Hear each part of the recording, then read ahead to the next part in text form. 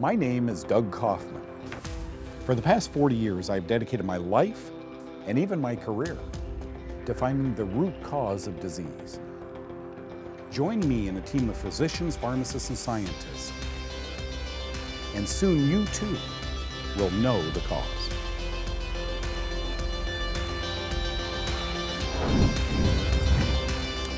And welcome back. Good to see you again this afternoon. Thank you for joining me. My name is Doug Kaufmann. The show you're watching right now is called Know the Cause. Understand why you're having symptoms or health miseries. Always work with a doctor. Let this show help you out also.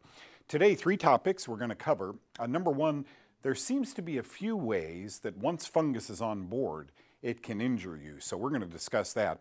Then we're going to talk about how difficult it is to diagnose. And I want to introduce you to a testimonial that may make you cry. It did make us cry a few years ago when we got it. And finally, fungus and turkeys. What do they have to do with one another? I think you're going to love another testimonial we have in there from Peggy. All that and more on this Know the Cause. Let's start with ways once fungus is on board, it might hurt you. And we've talked about how it gets on board, folks. We've had uh, many discussions on that.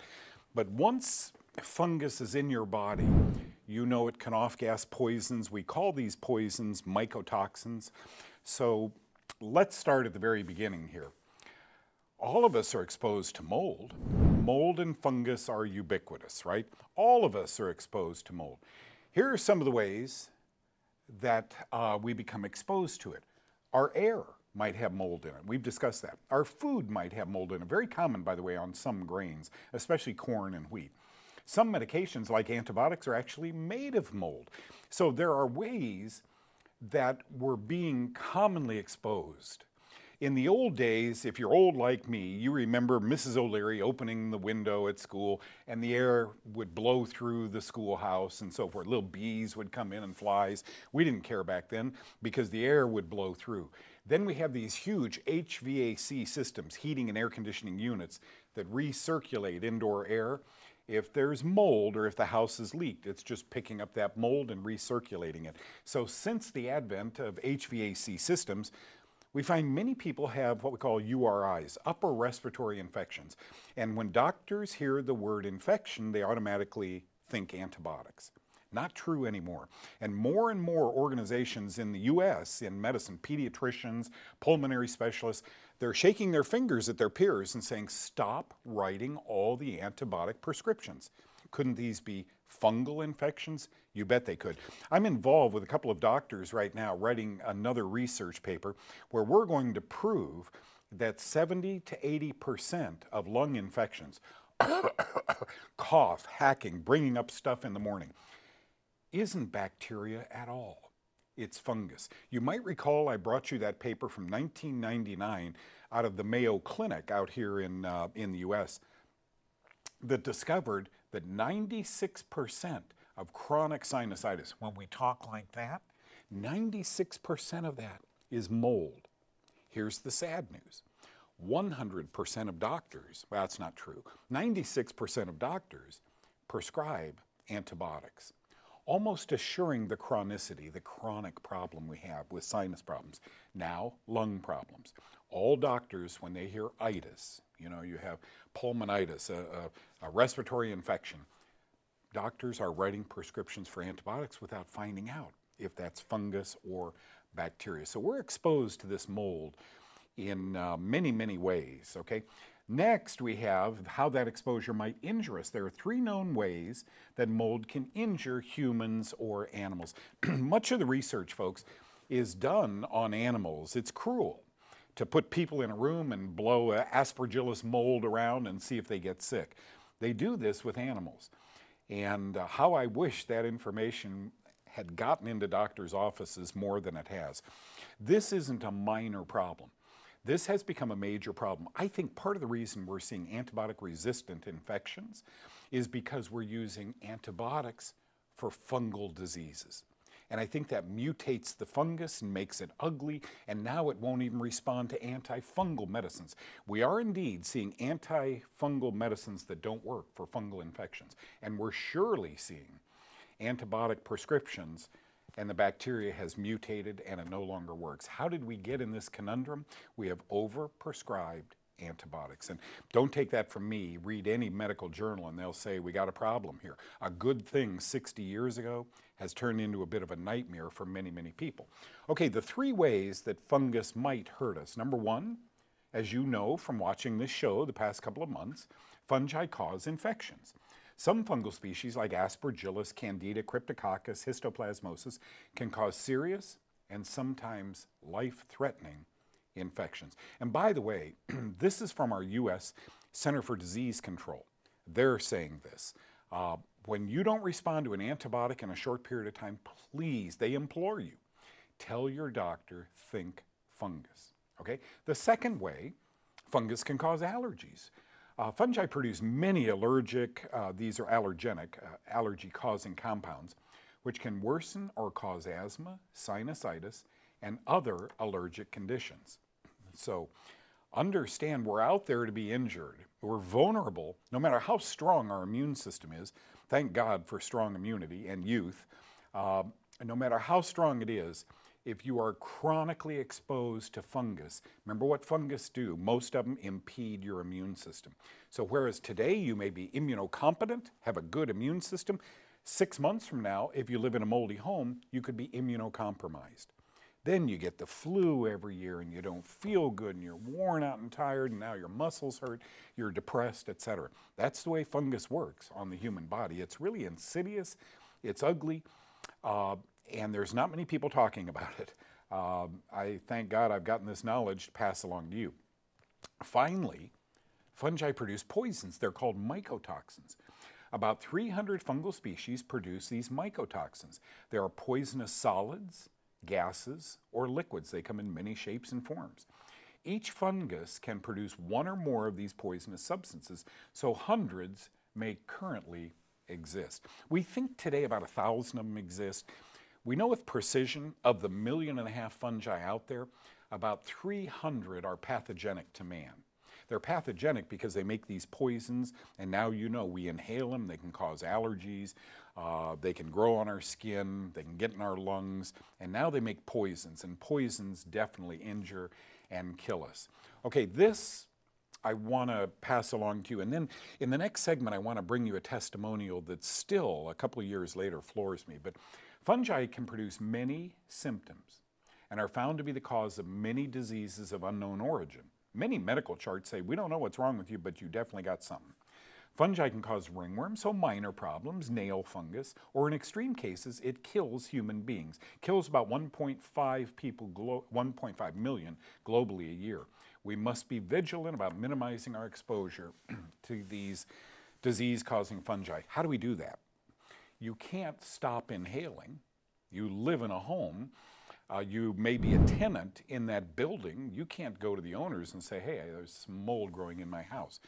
Or can you? Folks, it's all in how you approach this. You know, I've been going to the doctor for respiratory problems ever since I moved in here. Could there be a mold problem here? Oh, oh, and by the way, here's two papers from scientists in my country saying that mold causes problems. All you need to do to get those papers, it's relatively simple. Go to PubMed, P-U-B-M-E-D dot gov. That's in the U.S. Uh, many, many papers talking about how mold can be inhaled and injure you. Folks, then avoiding foods that aren't impregnated with mold. You've already learned peanuts, wheat, and corn, so grains in general tend to be impregnated with these molds. And if we have a mold problem, they tend to feed it. So you have to be careful, minimize your exposure. Once again, be outside. Vitamin D converting to good antifungals inside your body. Proper foods from the garden to your table. There's many ways we can prevent uh, mold from taking hold. Okay, now, when we get back, how difficult are fungal diseases to diagnose? And then I want to meet you, uh, I want to introduce you to a friend.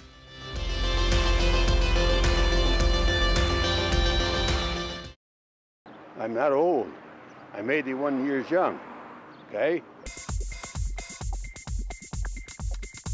I was diagnosed with prostate cancer, I think it was about three years ago, and uh, I got on Doug's diet.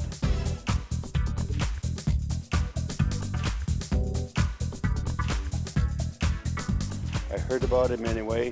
So the doctor wanted to give me several different shots or have an operation, take these seeds, and I said, no, I'm not going to do anything. So I got on Doug's diet, and I went back in six months. And he couldn't find anything. So my brother, he was diagnosed the same as I was. He had an operation, and he's having all kinds of problems now. Real strong on Doug's diet. I, I don't fall off of the wagon, so I stick right to it, nothing to it. Doug's just, I think he's, he's a gem. I've got three or four of his books, and I watch him quite regular on, on the Dish Network, Sky Angel, and I'm really thrilled with what I hear.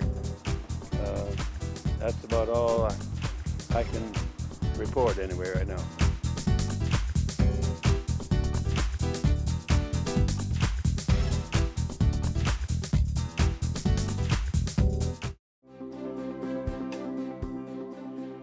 Here's my trusty old book, Clinical and Immunologic Aspects of Fungal Diseases. Is that a beat up book or what? 1957 out of Johns Hopkins. It was a medical textbook that one of my one of the doctors I worked with clinically uh, in his practice for years. When he passed, his wife gave me this book because I was opening it all the time. Folks, in this book, I just want to I want to teach you. This is a book on skin diseases caused by fungus. He was a dermatologist.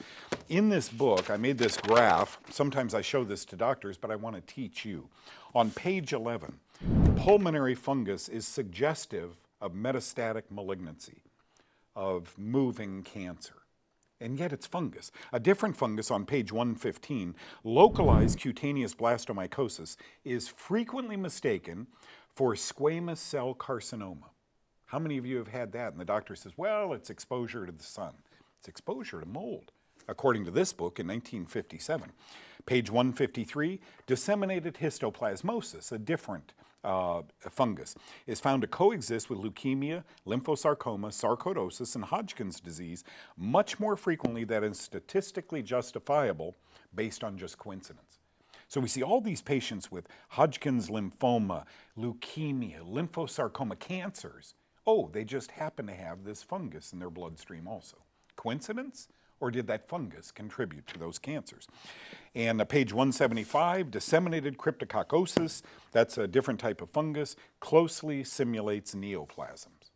Again, the book is Clinical and Immunologic Aspects of Fungal Diseases, circa 1957. I'm going to tuck that back in because through the next few months, you might have that on the screen again and again and again my point is, fungus was in 1957 and is today in 2019, will be in the future, a mimicker. It's a masquerader.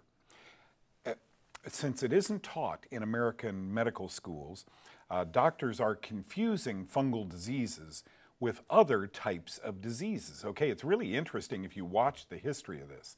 If you begin watching the history of fungal diseases, it just boggles your mind how often they are misdiagnosed. And that is injurious to many, many people. Okay, that could get ugly. Now, here's a graph I'm going to show you. Fungal diseases are difficult to diagnose. In 2002, 17 years ago, the medical journal Chest described the fungal disease pulmonary blastomycosis as the great masquerader because it mimics other diseases. And nine years later, an Indian study published in the Indian Journal of Cancer referred to a different fungus, this time aspergillus, as the great masquerader for the exact reason. Fungus mimics so many things. Folks, what if it mimics high cholesterol? Did you know that statin drugs are antifungal drugs? They kill fungus. Oh, by the way, they also take your cholesterol and triglycerides and lower them. Did you know that gout medicines like colchicine have antifungal properties. Could gout be a fungal drug? Did you know that selective serotonin reuptake inhibitors, SSRIs, uh, these are antidepressants, have antifungal properties? Could your depression be due to fungus? What if you had these symptoms? You just felt funny. You were vomiting. Your heart was failing you. You had fainting spells. You couldn't handle medications. Food and tap water would make you sick. You couldn't walk. You were in a wheelchair for weeks. Uh, then one, one night you had a vision about fungus. I don't think that was coincidental. I think that's the good Lord. Then you learned about the phase one diet. You had muscle atrophy. This is not rare. Many people go from doctor to doctor to doctor. Michelle's story is fascinating. We wanted you to hear it. Watch this. My husband and I have been very active in Oklahoma City for many years. And uh, just started feeling kind of funny, and by Christmas of 06, Christmas Eve, I started throwing up. And uh, within about four weeks, I started having heart failure. I was admitted to the hospital after several tests. I had a heart catheter, and there was no blockage. Um, several IVs, a lot of fluid, and I seemed to be better. But through the year, I began to have fainting spells. And um, by the holidays of last year, uh, I was very sick. I could not drink tap water. I could not take over-the-counter medication, prescription medication. Food made me sick, and I was having tremors, uh, just very, very weak. And um, so we went to a prominent clinic uh, in the northern part of the United States uh, because our doctors recommended that we try to find something to, you know, to help outside of Oklahoma. And they were unable to help me. And so um, after several rounds of being in the emergency room, I came home in a wheelchair. I could not walk. I could not brush my teeth on my own. I had not washed my hair in two weeks. Um, and there was just no hope. And so my husband and I began to just pray differently about what, what is this? And I, I began to have dreams uh, about fungus. And my husband had a phone call from a friend from third grade who we had not kept in touch with. And when he heard what was going on, he mentioned Doug Kaufmann. And I vaguely remembered something about 10 years ago about a connection there. And so we ended up um, learning about the phase one diet. I had just come out of physical therapy, 10 days in, in-house for physical therapy because I could not walk anymore. My muscles were atrophying. As soon as I started the diet, um, within about a week I could sit up. Within um, a couple weeks, I could walk to the restroom on my own. And uh, within about a month, I was washing my hair again on my own and walking. And um, I'm driving again. So we're still not out of the clear. I still have some symptoms, but I know it took a while to get here. It'll take a while to get out. But um, the phase one diet, eliminating feeding whatever yeast or fungus infection is in my body, has eliminated a, a cyst on my ovary, um, heart palpitations, so many different symptoms that we just could not find the answer to. And I'm on the road to recovery, and I'm grateful to Doug Kaufmann. I'm my family is eternally grateful, and it has made a difference. And so I'm living proof, and I'm thankful for it. I'm thankful for um, the information, and I'm thankful to the Lord for revealing all this to my family. So I'm on the road. Okay, uh, I can watch that a hundred times and I have the same effect. I get a little teary. It's amazing what some people go through when the etiology is fungus, okay? Look at why. Fungal mycotoxins can be estrogenic, endocrine disruptors, what is diabetes? Cause cancer, carcinogenic, mutagenic, mutate our DNA, Tremorogenic, so our hands and feet tremor, our gait is off. Teratogenic means it's poisonous to an unborn fetus. Toxic to our genes, toxic to our nervous system, our kidneys. Hepatotoxicity means liver toxicity. Toxic to our blood, hemotoxic. Toxic to our heart, our lymphatic system, our skin. And as I mentioned earlier, some of these, most of these, suppress your immune system. So it's no wonder, folks, that we have a huge number of patients. By the way, these patients, when I go into the clinics and work with these doctors, their patient charts say etiology unknown. Know the cause is the name of this show. Etiology unknown means, yeah, they definitely are bleeding from their nose all the time or they're coughing up blood. We don't know why. So figuring out the etiology of your health problems is something only two people can do. One is a licensed physician, the other is you. Go back to when it started. When did it start? Were you exposed to mold, eating lots of corn, etc.? You can probably uh, figure it out. Now, when we get back from this short break, turkeys and mycotoxins, what's that all about? I'll be right back.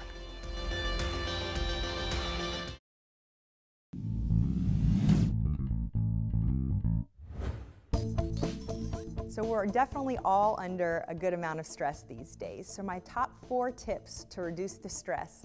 Number one, sleep. I know we don't think we have a lot of time to sleep, but sleep is really important and helps you to be more productive. So try to get your seven to nine hours if possible. Exercise. Exercise, just getting the blood going, helps you detox a little. Just, you can do it in your apartment, home, or outside, but just get exercising phase one diet, a good whole food based diet, eating lots of fiber and good fats and your meats um, and your berries and things like that are gonna make you feel so much better and they impact your mood and your stress in a big way. And then last of all, prayer. You can't forget prayer. That really helps me to calm down, get perspective, and decrease the stress.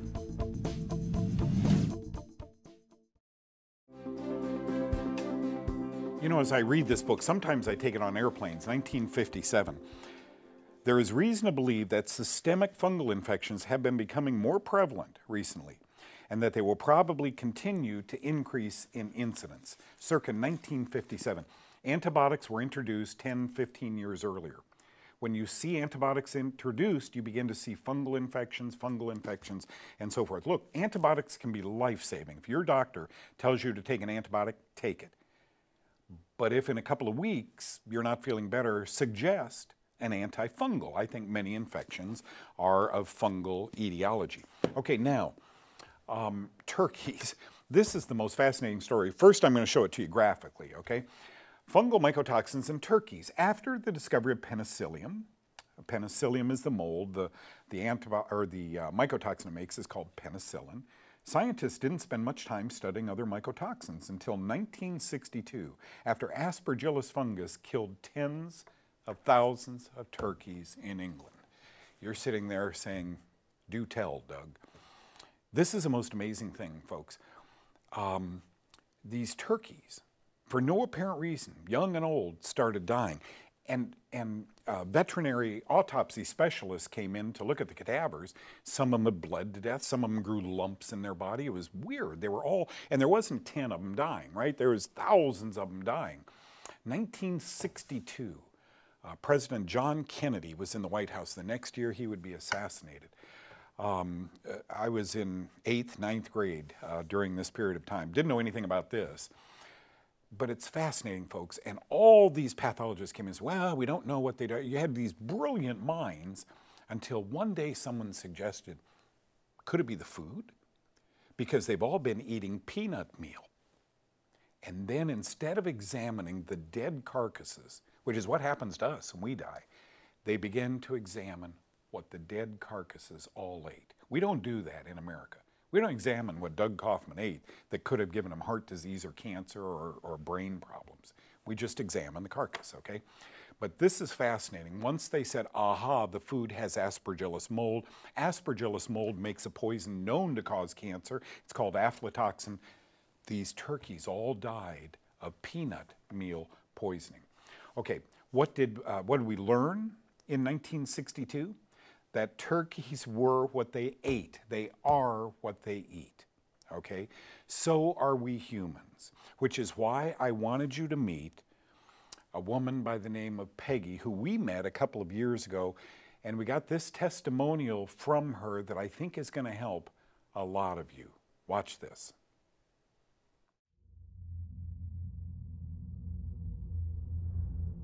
My whole life I've had problems with asthma, allergies, depression, migraines, sinus issues, irritable bowel, folliculitis, dermatitis, eczema, you name it. I've had my bout with just about everything. And about a year ago, I finally found a doctor who really believed that your health is correlates with what you're eating. So after doing some testing, we found out that my yeast levels were through the roof. So she gave me some guidelines to follow in my diet, and it was all very confusing. And the internet made it worse.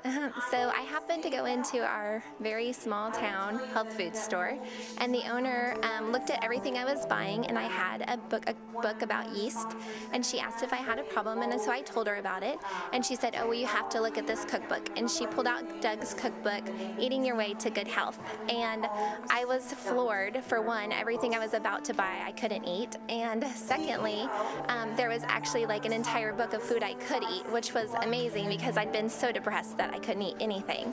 So I've been following his plan for about nine months, and I did go through some die-off phases that were not the best experiences, but I survived. And after a month of phase one, I went into phase two, and now nine months later, I have no symptoms. I haven't had to use my inhaler. Everybody said this was the worst year for allergies. I never experienced any issues. My irritable bowel issues are completely gone, and through it all, I've lost 85 pounds. I feel like a completely new person. I just praise God for giving us Doug.